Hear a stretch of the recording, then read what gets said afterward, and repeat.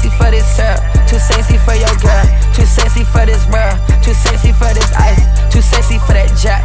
Yeah, yeah. I'm too sexy for this chain, too sexy for your game, too sexy for this fame, too sexy for that jack. Yeah. Hey everybody, welcome back to my channel. As you can see by the title, today I will be dyeing my hair and I will also be doing a two strand twist which I will be letting lock and turn into dreads. So stay tuned. I forgot to mention I've been natural, perm free since 2015.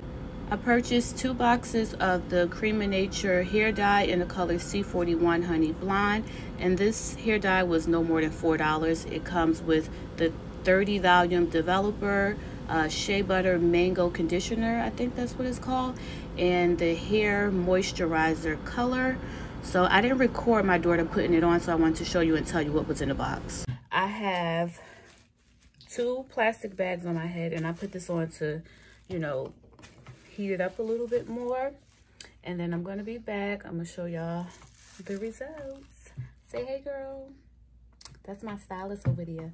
So again, oh, I had to use like two and a half boxes because that one wasn't enough. Well, not even half, right? Oh yeah, well I almost used two because you know I got this big arrow. But I'll be back. See you guys in a little bit.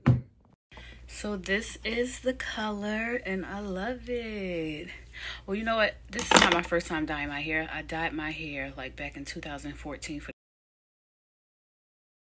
the first time and the color is actually similar but I feel like I dyed it again for the first time but I love it so right now I just have the conditioner on it that came in the packaging and then I also put some hot oil on it because you know it needs extra moisture with you know dyeing your hair and stuff like that so I'm gonna put a plastic bag over my hair probably for about 20 30 minutes you know let it restore its moisture and stuff like that and this is the shampoo that I used. I mean, honestly, I don't know if I was supposed to use some type of shampoo, you know, for dyeing your hair, but that's what I used and it worked fine for me. And I didn't get it. I actually got a tiny bit of shedding, like a little ball or whatever. But I love it. And I'm going to come back in a little bit and I'm going to show you guys how my daughter is going to twist my hair.